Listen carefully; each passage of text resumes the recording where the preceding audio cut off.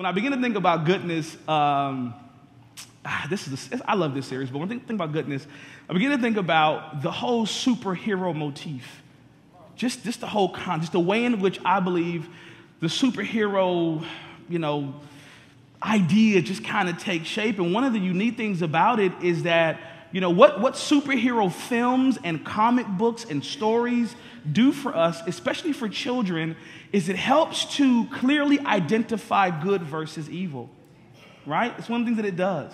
Can I tell you a little secret? Something I learned. I love traveling to Seattle. It's my favorite place in the entire world, oddly enough. I love Seattle. I was in Seattle a couple of weeks ago, maybe a couple months ago, and there's a museum, and it's a museum that talks about, you know, one of the rooms has to do with um, different motifs of film, different genres. And one of the genres, I believe it's either fantasy or something, it talks about how most movies that are in the area of sci fi fantasy, where it's like superheroes or Lord of the Rings or whatever it is, those kind of things, if you notice that there's uniformity in evil and there's diversity in good. So let me give you some examples. Uh, Star Wars, right? Star Wars, look at the uniformity of, you have Darth Vader and all of those guys all look alike, right? So everyone has on the same outfit, but the people who are fighting against the evil are all different. You got the Wookiees, and you got, you know, uh, you know, uh, Luke Skywalker. You got a male, you got a female, you got a big, you know, whatever that. What's the big thing called? Chewbacca. You got Chewbacca. There's diversity. We look at Lord of the Rings, same thing. You look at Lord of the Rings, the enemies, all the orcs, all look alike, right? They're all kind of just cut the same way. But when you look at the good, the good is diverse. So you got hobbits and elves, and you got, you know, all these different elements. And so the genre, I think for us, is saying some things that are really specific. And, and in the superhero motif, it's kind of the same thing. In most cases, in fact, one of the greatest scenes I think in Age of Ultron, if you saw that, was like the last scene between Ultron and Vision and they're having a conversation, and what happens in this conversation is Ultron is, in, in, in essence, remarking about the depravity of humanity. And Vision is just saying, you know, yeah, I know that there's some issues in humanity, but I've got faith in them, you know, that just because it's, you know, a child doesn't mean that we ought not be involved. Now, here's what's interesting about that is that in that, and this, this is like really deep superhero sci fi. I'm sorry if y'all not into this stuff, but I, I spend a lot of time thinking about this kind of stuff, right? But what? But you look at Ultron. Ultron. God, this is. I'm, I'm way too far off in it. But let me just finish. you ever, you ever start telling a story like I should have stopped a long time ago? But Ultron, if you notice, Ultron kind of embeds himself in all this different machinery. There's uniformity with Ultron, and then you, look at the Avengers. You got the Hulk. You got you know Iron Man. You have all these different pieces, and and in this dialogue, what I believe was happening with Vision and Ultron is that there was this juxtaposition of good and evil of depravity and hope. This balance, this tension that's balanced, where you see the elements of what, what, what is, is never to be or the brokenness of culture, and then you see vision that has this hope. In fact, at the end of Wonder Woman, I'm gonna keep going with the judge, gotta come on with me. At the end of Wonder Woman, remember in Wonder Woman when they're talking about once again humanity, and she's like, Look, it's not about what they deserve, it's about what I believe. Remember that scene? What was happening there was there was this there was this picture that was being given. And in a lot of these superhero genres or, or, movies, what you'll find is that what motivates the hero to do heroic stuff is this very fixed ideology around good and evil. This is why, you know, Captain America gets in the plane and drives it into the ocean because it was for the greater good, motivated by what was on the inside of him. The same thing, Superwoman, the, I can't think of his name, but he drives his plane up into the air and it explodes. Why? The greater good. Something inside of him had these fixed positions of good and evil. And because in their hearts there was this fixed position, this, this personal understanding of what good was and what good should be, it, it, it manifested in behaviors. It manifested in a way of life. So hear me very clearly. What I'm suggesting to you is this is that it is the concept of good as a personal reality that motivates the behaviors of life. And if we're not careful and we try to just subscribe to a set of regulations, as a way to attain goodness, we miss the moment and it's not sustainable. But it's what we believe about life. what we believe about God, what we believe about humanity, what we believe about God's design concerning us, that then works its way out into our behaviors. And what I believe that the superhero kind of element does is it tries to give us a bird's eye view. Now, here's how it does it to the extent that it says this if you're willing to put yourself in a position of sacrifice for something that you believe, that may at some point even negatively impact you, but you believe it so deeply and your heart is so committed to it that good is really good, that there is an objective truth about good. And good is not relative, and good is not just how you see it, but there is good, it does exist, and there is a desire for you as a person to live into that truth, how that plays out. One of the fights between Captain America and Iron Man, I, am just going deeper and deeper is that Captain America had this thing where he felt like Iron Man or, or, or Stark, you know, was unwilling to sacrifice for a greater good. That Stark eventually proved that he was willing to, but that was the demarcation in my mind. That's, that's what he, that was the measurement. Were you willing to say, you know what? Good is so good, independent of me, that I'm willing to walk in this way, even if it doesn't seem good to me, if it's for a greater good. Is that making sense to anybody? I went down like several paths here. I just hope that that was, that was clear. All right. So people have taken a lot of angles on this goodness, one of the, this, this fruit of the spirit goodness. And the angle that I think is, you know, most accurate is the angle of the goodness in this really being along the lines of personal morality. I really believe that. And let me give you a definition for goodness, what I think goodness is holiness in heart and life. And, and, and I say it in that order, and I, and I make that distinction because I want to be I want to be sure. There are three words I want you to see: holiness, heart, and life. Holiness is is now hear me is just being set apart, sanctified. It's just being moved right into a special demarcated place. Right? holiness is. But holiness now, as a position, then turns into holiness as an intention of the heart.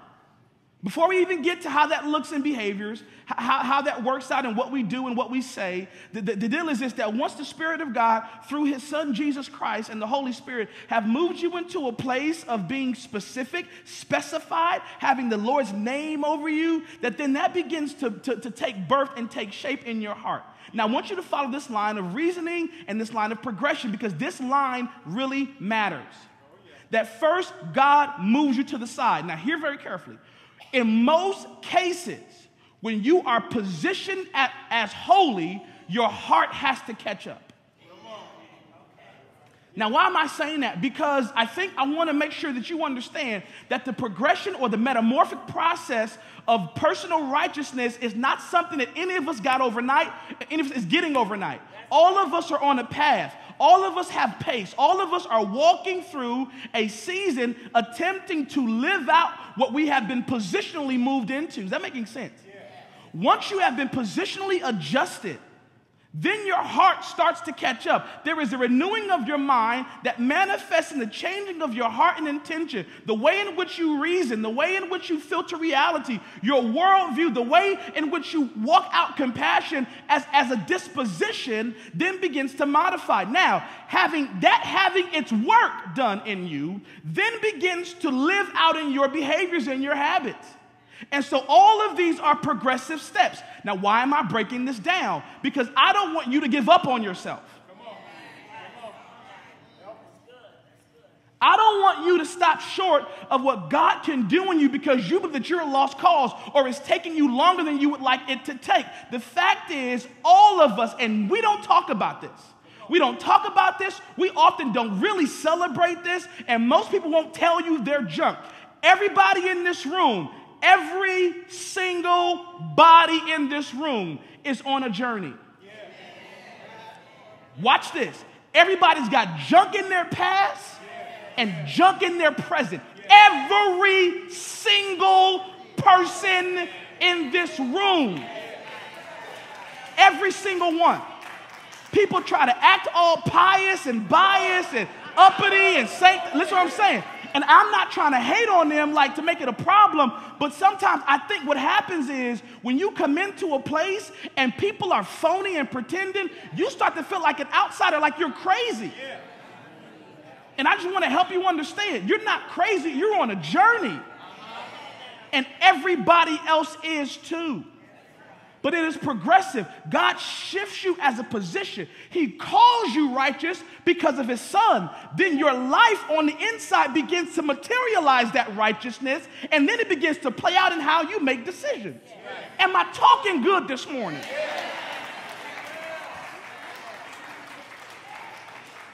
But this element is a superhuman, is superhero. Because in a lot of contexts, there are a lot of people who are just not after what you're after. Here's my assumption. I might be wrong, but I don't think I am. If you're here right now, it's because you're after something. You don't have to be here. You didn't have, you don't, here, here's the deal. It's not even culturally like taboo not to go to church anymore. It's okay. See, there was a time in our history where you didn't go to church, like, whoa, what's wrong with you? Now it's like, you don't go to church, let's go to the beach, it's all good, right? People don't even care anymore. I'm not, you know, right? Am I being, am I right? Am I wrong? Your friends don't be like, you didn't go to church? What kind of, you know, nobody says that anymore. You know what I'm saying? Right. So the fact that you show up, here's what I sense. You're after something.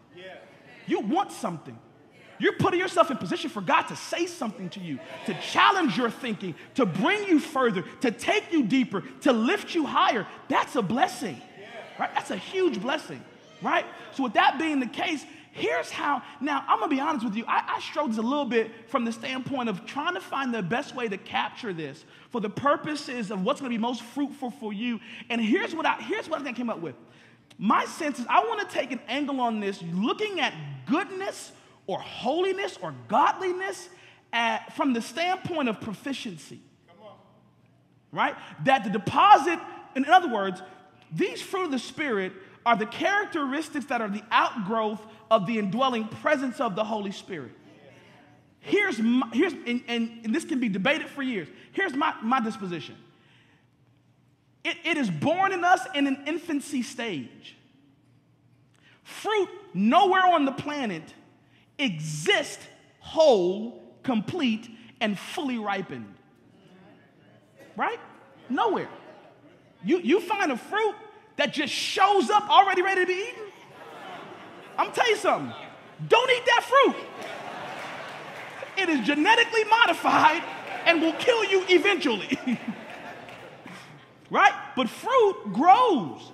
It starts as a seed, it grows, right? So I look at goodness or righteousness, holiness in the same context as, hear me, as, as this is a bad terminology, but it just kind of follow my, my line of reasoning, as raw talent that needs to be developed in you. Right? So there are four questions that, that here's here. Now, when it comes to goodness, when it comes to holiness in heart and life, I think there are four questions that you ought to ask yourself as relates. Now, here's question number one. The question is, um, uh, how is this fruit being informed?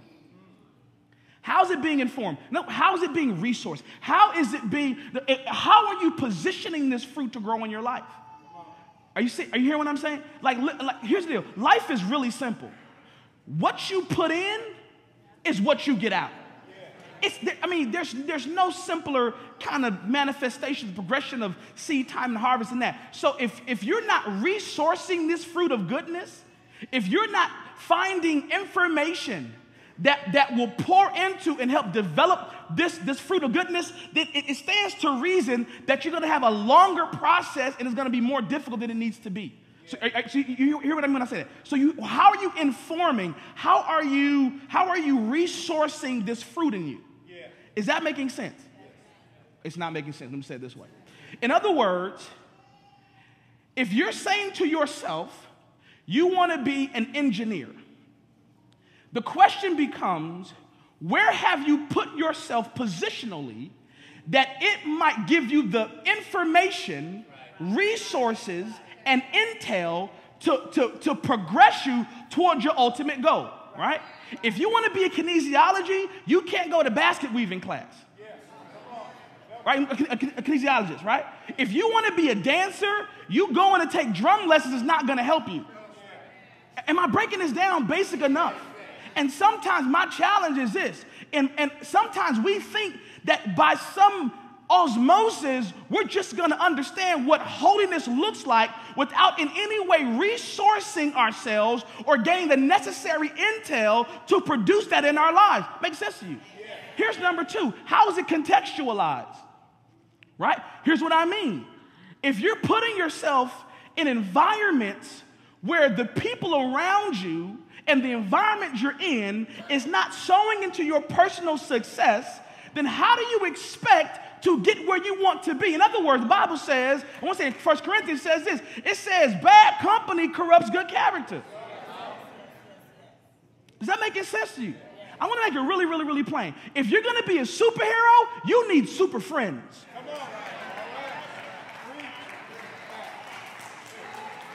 A little bit. Right? You need a super friend. Like Iron Man is not hanging out with like Jim. Like, where are you going, Tony Stark? I'm going to hang out with Jim. Who's Jim? Just a random guy at the corner store.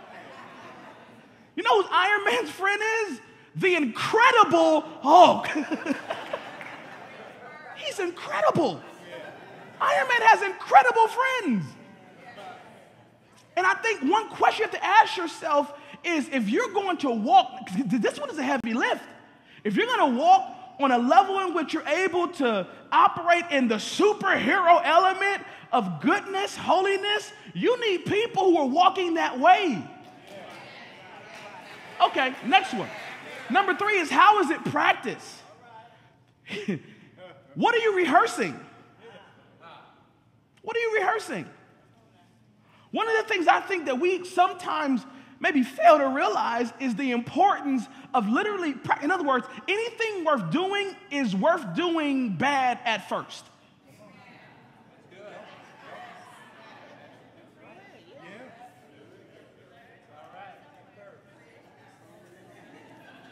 Let me say it. Anything worth doing is worth doing bad at first. Practice. Practice. You know what I'm saying? You, you, have to ask yourself this question What am I, what am I rehearsing? What, what, what, what do I allow to take up, you know, the majority of my time? Okay, here's the next one. Last one is Is it analyzed? if it, when it comes to this idea of goodness and righteousness, holiness, and all of these things, are you asking yourself tough questions? Are you analyzing? Are you doing self inventory? Are you being reflective? Now, I want to be careful with this because I want to help you understand. This is not morbid introspection. This is not you and I looking at ourselves and just every single day, like, oh, well, I'm so terrible. That's not that. But, but, but if, if we're not assessing where we are in life, looking at where we've come from, the things that we've done or haven't done, the way in which life is processing, if we're not kind of taking inventory, I'm going to tell you something people will help you take inventory of your life. Intentionally or unintentionally. When you like it and when you don't. You ever had somebody say something to you that just ruins your day? And what I mean is, they spoke a truth and you were like, oh my God, who am I? Oh.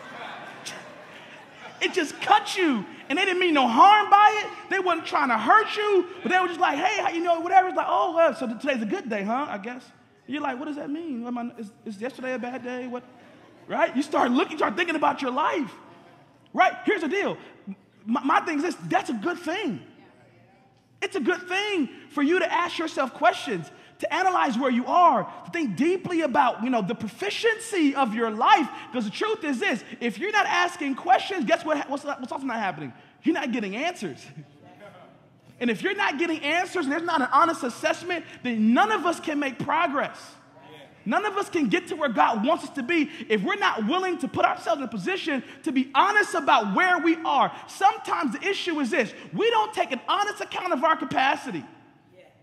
We don't really look at our, the reason why we sometimes can't get to a place is because we don't think that there's anything we need to be thinking about. We're just going through life, and all of us either have this friend or we are this friend that we're just moseying through life and we're just reckless and thoughtless, and people around us saying, I can't believe he doesn't understand that. And the truth is, it's because we're not spending the time really asking ourselves honest questions. I love Dr. Phil, and he says, How's that working for you? And we don't stop to ask that question. We, we, get upset about what's, what's, being, what's being produced in our lives, but we never ask the question of how we got there. We never say, wait a minute, you know what? Maybe this is my fault. Maybe I shouldn't have said that. Maybe I'm walking in the spirit of offense. Maybe it's not that deep and they're not talking about me. Maybe I'm just in my, I'm a little deluded about what I think should or shouldn't be happening. Whew, this is going down so hard. So, having said that, turn your Bibles to Psalms chapter or Psalms, uh, the first division of Psalms. So here's the first thing. The first thing here, here are the four ways I believe that goodness, once I said, it's a proficiency that can be developed. So I think you can get gooder. I do. There's, there's a member, I don't know, she, she to Lamb Church, she, she says, Pastor, you just keep getting gooder and gooder preaching that word. And I say, Poppy Collie, yes, I do. no, but, but I think that we can get gooder. I, what's wrong with, is that, you know what I mean when I say it? We can get gooder. And I think there's a way we can get gooder, and there are four ways. There are four, what, y'all pay attention. Jehovah. There are four ways you can get gooder if, if I believe if we apply these four things to our lives and this superhero strength, you know, can really grow in us. The first one, go, go, go back, we'll go back to the scripture really quickly. Um, uh, Psalms division one, there we go. Blessed is the one who does not walk in step with the wicked or stand in the way of sinners, um, take or sit in the company of mockers, but whose delight is in the law of the Lord and who meditates on his law day and night. That person, like a tree planted by streams of water, which yield its fruit in season, and whose leaf does not wither, whatever they do prospers. Now, watch this. Here's the, the, the first way is by revelation. I believe that to the extent that we are open to revelation, that it allows for us to develop this superhuman strength of, of being gooder. And here's what I mean. Whether it's through the preach word, has anybody? I was I've listened to a sermon. Uh, uh, I, I, I go to church on Sunday mornings before I come in here. Every Sunday morning, I watch another church and, and hear the gospel preached to me literally every single week. And there's some weeks where the word that's being preached just breaks me down. I mean, I'm just listening to the gospel and it's just, it just hits right at a point, just at a point. Thank God for live stream, you know, at, at, different churches because I get to hear the gospel, come here and preach the gospel. But as I'm sitting there, sometimes where the Lord is just putting his finger right in my chest, right? Is there anybody here that's ever heard the preach gospel that's just, just got your number, just called your name, just you felt like whoever was preaching, what nobody else in the room, they were, the Lord was just talking to you. And so that, that's revelation knowledge that the word of God is revealed by preaching. And you hear, so here's why, here, fam, listen, and, and I would I would love to say you have to come to church, and I would love to say that, but I can't say that per se in the same way when I'm about to say this next point. The point is this get the, go- the preaching of the gospel. Yeah. Even if you're not here on a Sunday morning, you, you'll, you'll never know the impact of the gospel being preached in your life until you don't have it anymore.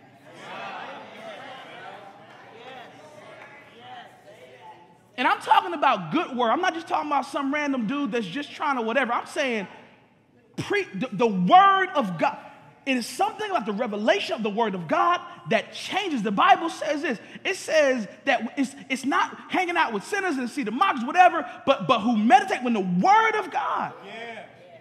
when the Word of God, and, and, and you're in that space day and night, when you're allowing for that word to take up root on the inside of you, it literally begins to perform in you what you can. The, the Lord will begin to strip you of certain appetites. You even know when they left. But it's that gospel, it's the word being preached, right? It's personal study in the word. It's you reading your Bible. It's you reading even other books that substantiate or help to unpack the Word of God for you. It's you having a personal devotion and study life. Something about that, that revelation that comes from you spending time in the Word of God, child of God, it literally begins to perfect you. It begins to change you. It changes, watch this, not just, it didn't just change what you think about, but it changes how you think about it. Yes, it does. Are you hearing what I'm saying to you? Right? Something about meditating on the word. The revelation that comes, that there are times in life where it, it, you can't get it from anywhere else, but just a download from the Spirit. Where the Spirit will just quicken your heart, will point out something, will show you yourself, will show you something, and will just challenge you at your core. So, revelation is a huge way in which the, the superhuman or superhero, you know, strength of goodness can grow you. Here's number two. Go in your Bibles. Well, okay, Put the scripture up. the second scripture up. All right, that's in red because Jesus said it. That's why I said it. Simon, Simon, Luke 22. Simon, Simon, Satan is asked to sift you all as, uh, as wheat. But I have prayed for you, Simon, that your faith may not fail. And when you have turned back, strengthen your brothers. Here's Jesus said Satan has decided to sift you as wheat, and, and part of this is actually going to work because you're going to play me. You are. What Satan wants you to do, he wants you to walk away. He wants you to disconnect. He wants you to deny me. He wants you to turn your back. Right now, here's the deal. But I pray for you, watch this, that his ultimate plan won't work. Now, watch this. Number two, another way in which goodness grows in us is personal failure. Personal failure. Now, now I, you might not like this agree with this, but I'm going to say it. I'm the type of guy that I don't believe that every kid who participates should get a medal. People don't like that. I know in this new culture. I grew up where they were winners.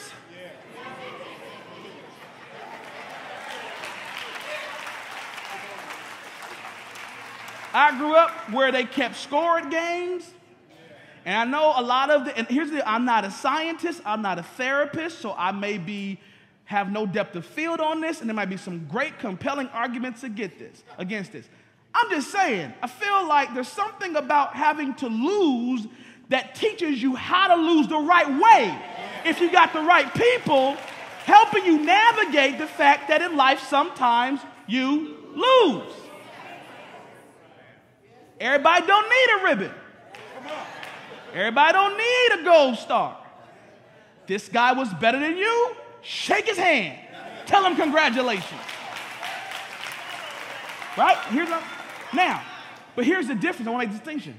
The difference is this is that there's a big difference between having a personal failure and being a personal failure. And this is what Jesus is talking about. He's saying, look, you're going to lose. You're going to do what the enemy wants, but how you handle the aftermath determines the mettle of a man. You follow what I'm saying? And the fact is, he's saying, look, when you are, listen, there's an after. You're going to get through this. And when you do, don't let this be wasted, but strengthen the next dude that's coming behind you. So watch this. I believe one of the ways in which we grow and are developed is when we lose sometimes. Yeah. When we fail, you're going to make mistakes. You're going to miss it. You're going to say the wrong thing. You're going to do the wrong thing. It's going to happen. Right? I'm not prophesying over you. I'm just, we living in life and you're a human being. I don't have to be a prophet to tell you that you're going to make mistakes in life. That's not a prophetic word. That's reality. Right? You're going to make mistakes. You're going to fail. You're going to come up short. But how do you handle that? How do you deal with that? Do, do, do, you pick up your stuff and go home? Do you, do, do, do, you, do you tuck your tail and run? Do you give up? Do you walk away? Or do you say, Lord, even in this failure, even in this moment where I'm embarrassed or ashamed or I've failed you, disappointed, I will not die in this season. But look, I'm going to learn from this season that the next time I come around this way, I'll know how to handle where I am right now. Is that making sense to you? Here's the next one. Put up the scripture. The Bible says in Hebrews 3, it says, See to it, brothers and sisters, that none of you has a sinful, unbelieving heart that turns away from, the, that's a really long, y'all just bear with me, um, the living God. Go faster. But encourage one another daily, as long as it is called today, that none of you may be hardened by sin's deceitfulness. We have come to share in Christ if indeed we hold our original conviction firm to the very end. As has just been said today, if you hear his voice, do not harden your hearts as you did in the rebellion who were with, uh, who were they who heard and rebelled? Were they not all those Moses led out of Egypt? Now stop right there. Go to chapter 4, family. Go to chapter 4. I'm going to start right at verse 1 of chapter 4. Therefore, since the promise of entering his rest still stands, let us be careful that none of you be found to have fallen short of it. For we also have had the good news proclaimed to us, just as they did, but the message they heard was of no value to them because it did not share the faith of those who obeyed. Verse 3. Okay, stop right there. Let me just do this. I've got a little bit of time. Here, here's the deal. What this is talking about is the fact that the gospel was preached at the time that Moses and the Egyptians and the Israelites were in, coming out of Egypt. The word was given to them, and they had unbelieving hearts. And because of their unbelieving hearts, what the word shows us is that an entire generation died in the wilderness. You hearing this? Right? They had unbelieving hearts. They would not submit. They were murmurers. They were complainers. They were critical. Their heart, they were, the Bible says they were hard hearted. And because of that, they all died in the wilderness. Not just died, they, they were killed in the wilderness. Right? Because of their rebellion produced out of, out of doubt. Watch this. So here the scripture says this. So he says this don't be like them. That's what it says. Listen. He said, because the same gospel that's preached to you was preached to them, but in them it was not mixed in faith. What's it? Say, don't you let what happened to them happen to you. So here's number three. Number three is it, it grows, number three, because of other people's experiences. Listen, the man in the hole might have something to offer you about how to stay out of it. Just maybe. Just maybe. And there's some things that you and I don't have to go through if we pay attention to other folk who did. You follow what I'm saying? And there's some seasons, some issues in life, some things that we're experiencing in life and we don't have to because somebody already made that mistake. Someone already had that failure. Someone already went down that road. And to the extent that we could pay attention, now hear me, not scornfully, not scoffing, not making fun, not being insensitive, but paying attention to the misgivings, mistakes, misjudgments of other people. Say, you know what, Lord, I see what happened there. Let me get my situation together because I don't want to have to go the same way that they went.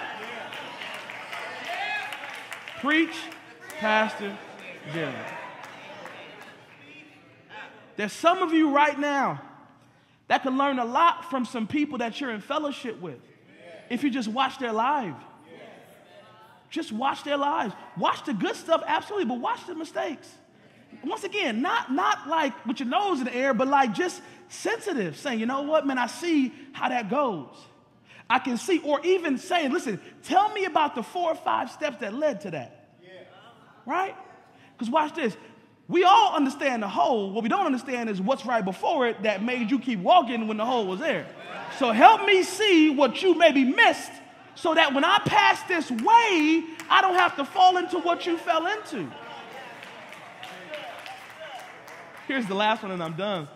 Scripture, and let us consider how we may spur one another on toward love and good deeds. 25. Not giving up meeting together as some are in the habit of doing, but encouraging one another. And all the more as you see the day approaching. Here's number four is the way in which we can grow in goodness is encouragement from others. Can I say something to you really quickly, family? Please hear what I'm saying. Listen very carefully to me. The reason the enemy wants to bring division and disunity and contention, and he wants to bring, you know, pre- pretense into the family of God is, is this very thing right here. Because the enemy knows the benefit that you are to one another. He knows it. He knows that if we ever had good relationships, we could be a blessing to each other in seasons of challenge. So, what does he do? What does he do? He puts enmity between you and I. He puts drama between you and I. He gives you a cantankerous spirit. He gives me a cantankerous spirit. He gives puts bitterness in you or resentment or whatever it might be, or you know, side eyeing and looking this and this and thinking that you're better than somebody else, or thinking that oh, why? That that's not the end game. The end game is keeping this from happening. Because here's what he knows: that the body of Christ was given to us as a gift. I am a gift to you. You are a gift to me.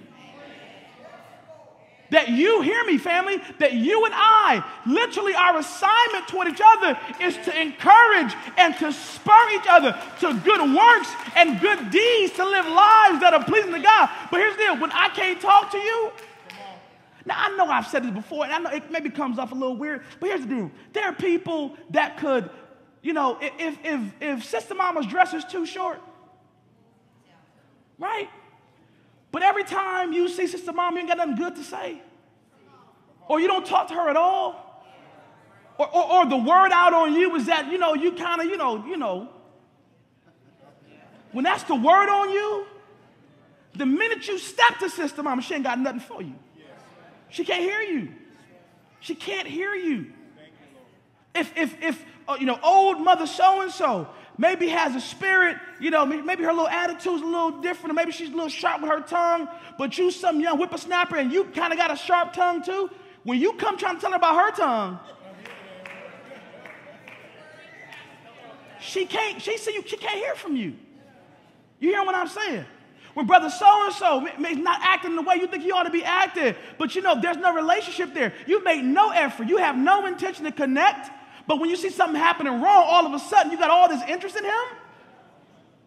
He can't, he see you coming, he ain't got nothing for you. And part of the problem, I, I don't think, this is me. I could be wrong about that. I'm often wrong, clearly, because no one ever agrees with what I'm saying when I'm preaching. You always sit on me, you don't ever clap. Right? No one ever says amen when I'm preaching, so I must be wrong. I'm joking. I'm really good at this. All right. I don't believe that most people don't want nobody to tell them nothing. I don't believe that.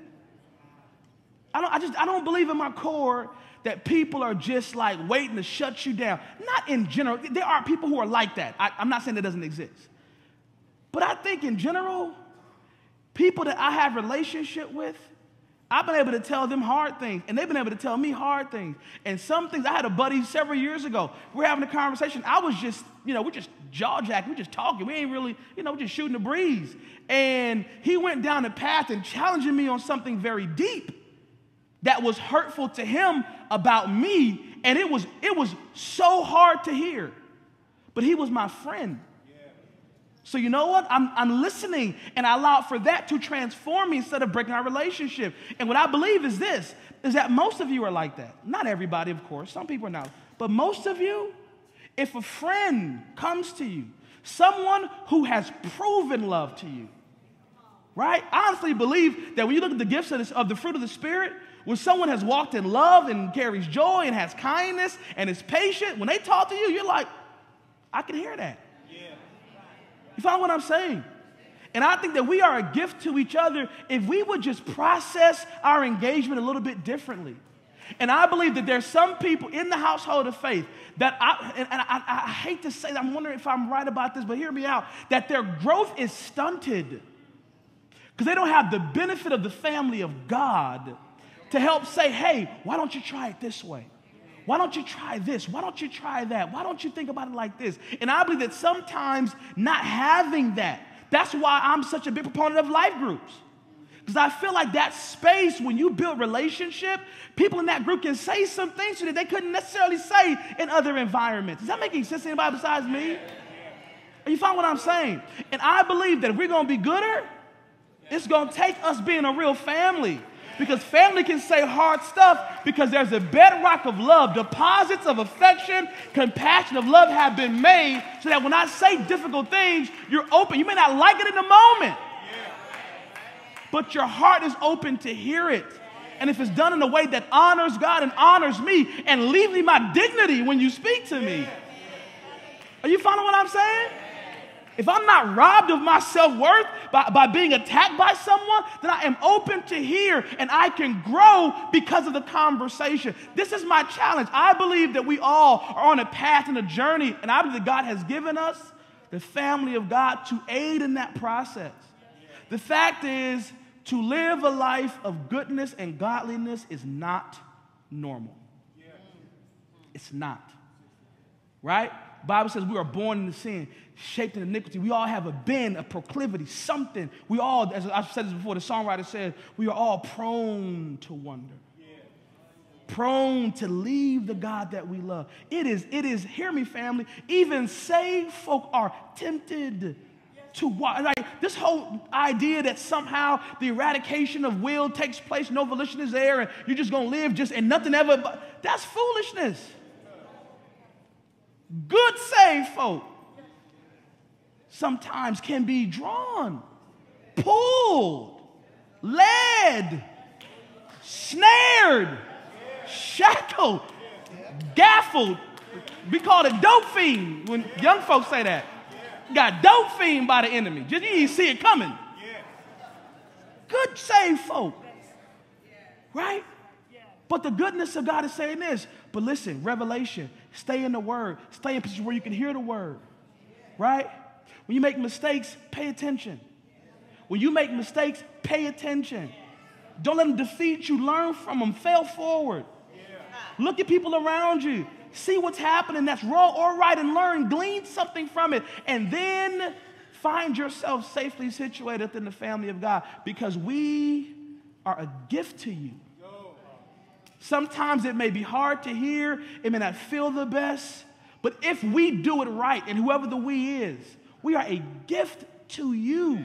We are not your enemy, but we love you and see your destiny, and vice versa. And the Spirit of God has called us for each other to be a blessing, that we might spur each other toward good deeds and good works. Everybody standing.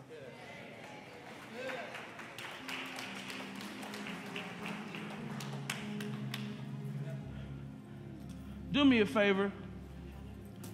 Just turn to someone and say, You. Y'all got to participate. Say it again. Say, You, you can, can be, be gooder.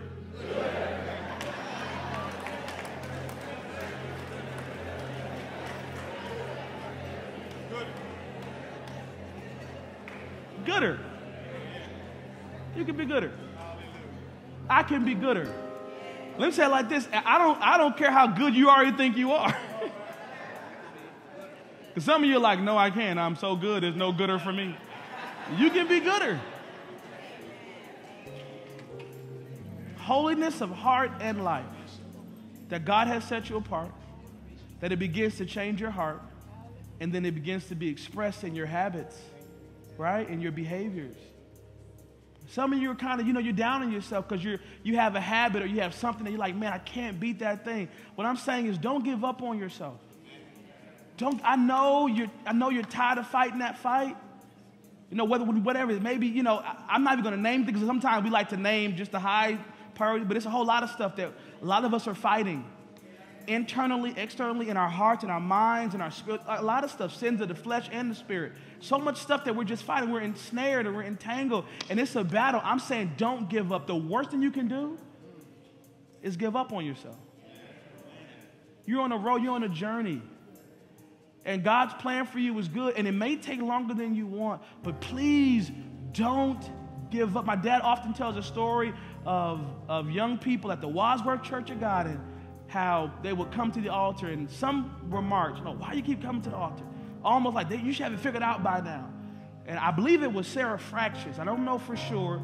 Might have been her who said something like, "Let them come yeah. as long as it takes." Yeah. And I'm gonna say to your family, it may be an arduous road. And you may look at the destination of God's intention towards you and where you stand in comparison, and you may weep because of disappointment in yourself or how far you feel like the margin is, don't give up. The long may be the, the, the, the, road may be long, but it is worth it, and you will get there. Now hear me very clearly. There's never a there of perfection you arrive at in this earth, right? It is not until that which is perfect has come that we should then be changed and know as we are known. But you can get better. You can get better. You can get better. And goodness can grow in you. If you will apply some, and, and it's not the full measure of, there are other things that you can apply, but at least these four things, I think if you can apply these things, stay in your word, pay attention, right? Pay attention, look around, use the household of faith, ask questions. I promise you, this fruit will grow faster than you think. Faster than you think. Lift your hands. Father, we thank you. Thank you because you love us. For so long, we've thought that you were out to get us. We were in sin and even in righteousness, Lord God, still struggling with the remnants of it. We just always felt under accusation, always felt under condemnation. But God, your intention has never been to, to get us, intention has been to bring us, to invite us, to love us into your design for us. And sometimes that does hurt. Sometimes it, it does feel awkward, and sometimes we are often dismayed by our own progress, Lord God, but you love us so much that you never give up. You said such an audacious thing in your word. You said that you were wed, married, even to a backslider. My God. That you would associate yourself with someone who has fallen from grace. What an amazing truth. So, God, I pray that we will make an investment. We would take your desire for us to walk in righteousness seriously. We repent of all of our mistakes, misgivings, misjudgments, bad decisions, Lord God, and that we will make an fresh and a new, Lord God, attempt, Lord God, to, to do the homework. Yeah. To do the homework, Lord. To put in the real work to be what you've called us to be. And so, Father, I pray as these your people stand here, everyone in this room may be in a different place, all thinking about different things, thinking about decisions in their lives, Lord God, thoughts in their minds. So I pray as they make where they stand a place of prayer, repentance, confession, and forgiveness, that you would meet them right there. Those watching by live stream who have heard this gospel, Lord, and who have been challenged, I pray right where they are that you, Lord God, would let that place be a place of repentance, confession, forgiveness. That they would offer up a prayer, maybe even silently. Lord, you're not out to embarrass anyone, but offer up a prayer saying, Lord, I'm ready. I want to be better. I want to take a step. I, want to be the, the best version of myself. I want to walk, Lord, as a holy person in heart and in life. I made so many mistakes, walked down so many bad roads, Lord God, but I know you love me because if you didn't love me, you wouldn't have sent me this word. So this proves that you're not done. So, God, in this moment, we all just silently, just whatever it might be, you just offer up a prayer right now. Your Holy Spirit does the work, Lord God. So just silently, we just offer up a prayer right now. We just talk to you ourselves. Forgive us. Forgive us for our sins. Forgive us for, for, for thinking the wrong thing, for seeing the wrong thing, for saying the wrong thing, for hearing the wrong thing. For just, we're sorry, Lord. We're so sorry. We're, we're so sorry. We're sorry. Not out of fear, Father, but out of love. Out of the eternal love you have for us, Lord. You are for us, God. So we open up our lives and we say, Lord, create in us a clean heart and renew a right spirit in us. Renew a right spirit in us. Cast us not away from your presence and don't take your spirit from us. Thank you so much for your love. Thank you so much. There may be those that are here right now, Lord, that are not saved today. They've never given their heart and life to you. They've never laid down the reins of their life and allowed for you, Father, to have full control. So now, God, for those who are not saved, we pray this prayer. Father, we thank you for your son, Jesus. We believe that you sent him to this earth to die on the cross for our sins, that he died, was buried, and on the third day rose with all power and is now seated in the throne room at the right hand of God. So we confess our sins. Every sin, Lord God, every decision, we confess unrighteousness, Father God, and we ask you to come into our hearts. We ask you to be our Lord and Savior. We ask you to take full control. We will follow you to the ends of the earth. We will serve you. We will learn of you. We will be your disciple, Jesus, and we will make disciples, Jesus. If you prayed that prayer in your heart, and you weren't saved, you're saved right now in Jesus' name. Would you give God praise for salvation right now?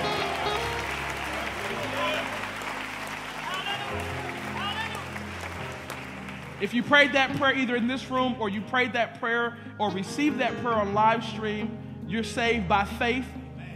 That's it. There's, there's, no, there's no small print. You're saved. If you believe Jesus Christ was raised from the dead and you asked him into your life, you are saved. It, it just confess and believe.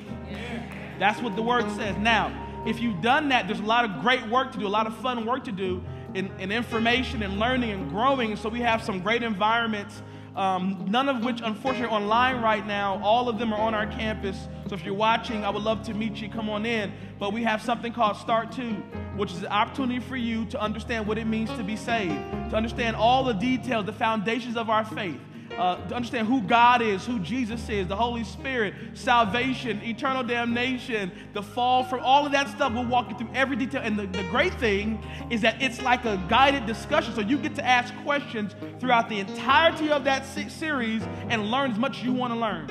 Then we have something called activated. So if you haven't heard of it, it's an opportunity for you to understand what it means to be a disciple of Jesus. The foundations of faith are good in that you are prepared for glory and you have information. But what makes you a real Christian is that you are discipled right? So, what comes from your life? In, in, other words, how you live on this earth. So, we have Activate that happens right now. Same thing. It's a guided discussion. It allows for you to ask questions about what it means to, to study the Word of God, what it means to worship, what it means to serve, what it means to be generous, what it means to be evangelistic. All of those details. We're going to give you all the information you need.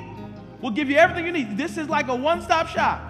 We can give you everything you need to walk in this life of holiness and righteousness and goodness and glory that you can be better at doing this thing called life. So I want to invite you, if you gave your life to Jesus, to be a part of that. Amen? Amen. Now may the grace of God and the sweet communion of the Holy Spirit rest from the Bible with us now, henceforth, and forevermore. And the people of God shouted, Amen.